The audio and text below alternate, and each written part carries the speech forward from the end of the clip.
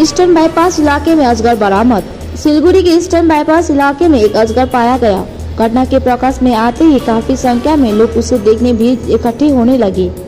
One विभाग को उसकी सूचना दी गई है।